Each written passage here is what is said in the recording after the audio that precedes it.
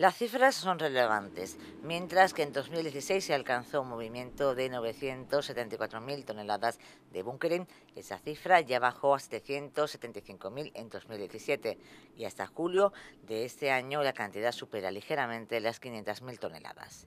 Señalan que si la actividad de servicios al buque en el puerto de Algeciras es un tren, la locomotora es el búnker. Esa actividad es la que decide dónde se realizan esas operaciones como cambio de tripulación, entrega de residuos y otros habituallamientos, ha indicado Manuel Piedra, presidente de AESBA. El máximo responsable de la asociación que enmarca a las empresas de servicios ha añadido que independientemente de que realicen una importante actividad de bunkering con barcos que atragan en Acerinox, refinería o en las terminales de contenedores, lo que les preocupa es la pérdida de mercado en los buques que transitan por el estrecho.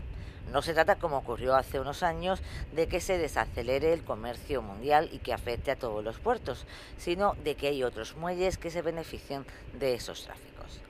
A la espera de que el puerto les convoque, el sector de servicios considera perfectamente asumible la incorporación de al menos otro suministrador y así lo plantearán a los responsables del puerto, a quienes solicitarán que hagan todo lo posible por incrementar el número de estas concesiones, al igual que hacen con los operadores de contenedores. Mientras que el bunkering baja, la actividad de reparación de barcos se ha incrementado, sin embargo, necesitan más espacio para esas labores.